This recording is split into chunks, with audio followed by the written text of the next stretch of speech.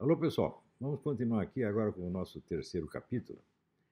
Então, como eu estava explicando no, no, capítulo anterior, é, essas discussões que se prolongam por décadas, elas são a origem de um movimento.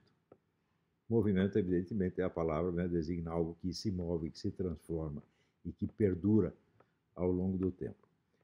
O movimento político, nenhum movimento político começa como movimento político. Ele começa, em primeiro lugar, como movimento intelectual e movimento cultural, que vai, ao longo das suas discussões, é, desenhando, delineando um corpo de temas e problemas e questões que é, preocupam um, certo conjunto de pessoas, geralmente as mais, as mais qualificadas.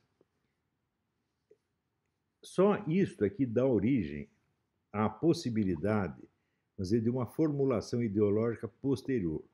Uma ideologia já é vamos dizer, um, uma simplificação, uma esquematização que unifica grosseiramente esse conjunto de preocupações e o transforma num, num estímulo a uma determinada ação política. Isso quer dizer que durante a, durante a fase dessas discussões não há ideologia nenhuma.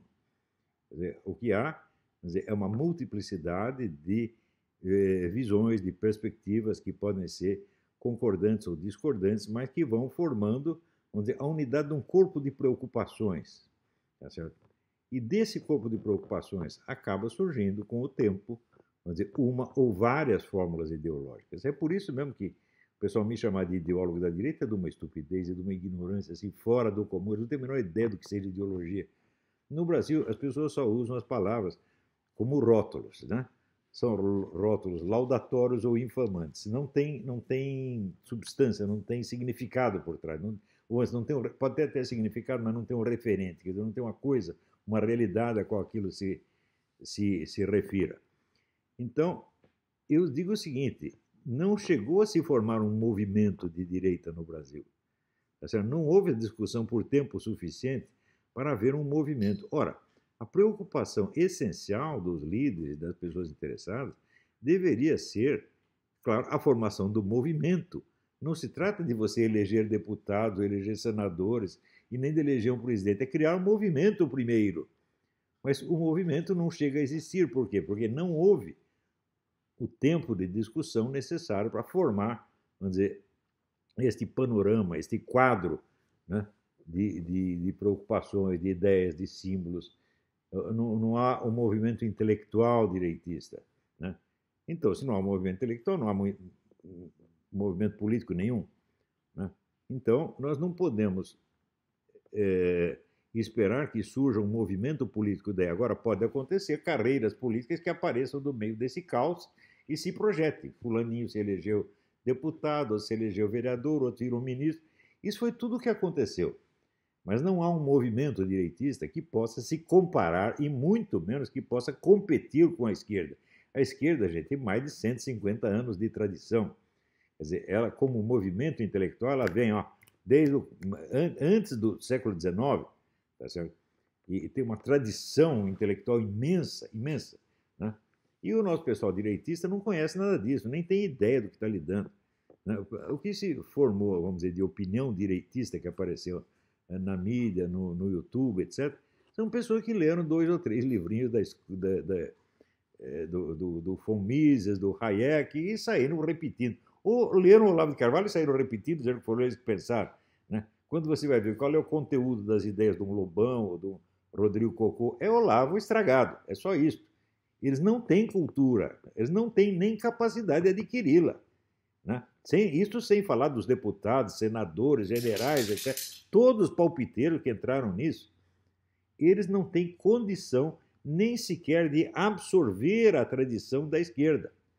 Quanto mais a de tentar criar um movimento intelectual direitista que, com o tempo, possa dizer, florescer numa ideologia ou em várias ideologias direitistas. Ou seja, nós nem começamos a fazer o trabalho. Tudo nós, que nós fizemos foi eleger pessoas. As pessoas são carreiristas. Você não imagina a baixeza de nível desse pessoal. Esteve aqui um deputado, eu não posso dizer o nome, aliás, eu nem lembro o nome do desgraçado. Ele chegou aqui e está mostrando o contra-cheque dele, se gabando de que agora ele podia alugar um Mustang para vir de Washington para cá.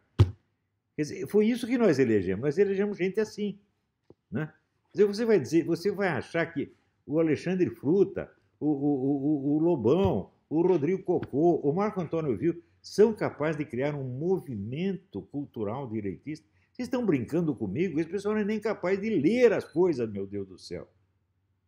Eles falam, por exemplo, eles pegam dois ou três argumentos anticomunistas, não pode ser marxista, porque eles não conhecem marxismo, eles pegam a ideia geral de comunismo e criticam, coisa que qualquer radialista pode fazer, qualquer aluno de ginásio pode fazer.